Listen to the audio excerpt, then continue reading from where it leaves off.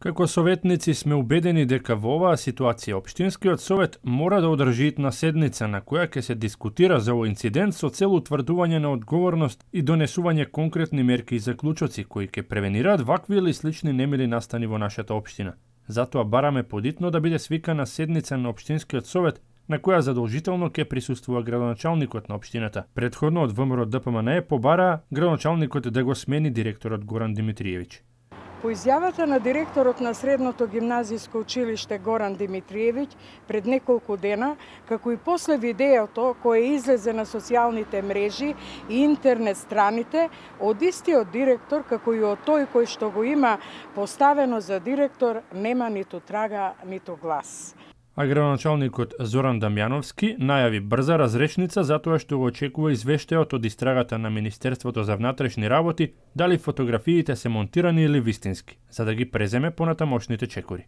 Јас не можам да зборувам за нешто за кое не ми е познато, а во секој случај, моралната одговорност постои за самиот директор, ако тие фотографии се постирани од него, сигурно дека ќе има санкции, Меѓутоа, тоа не е нешто што е промптно, што ќе се реши у еден ден.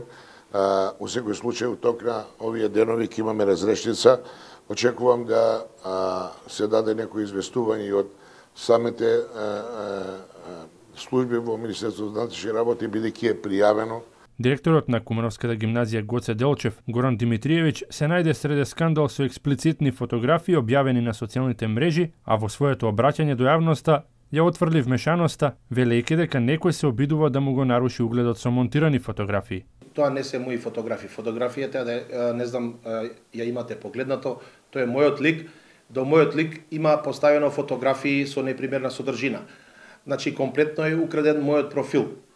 Јас го ставив во мирување во понеделник на утро, меѓутоа денеска бидејќи случајот е пријавен и во полиција, го активирав. Чувствителноста на случајот разбирливо ја разбранува кумановската јавност, а првиот човек на кумановската гимназија истакна дека размислувал и за отказ. Горан Димитриевич на позицијата директор во ова средно училиште од 2014 година. Предходно во Кумановската гимназија работел како професор по предметот спорт.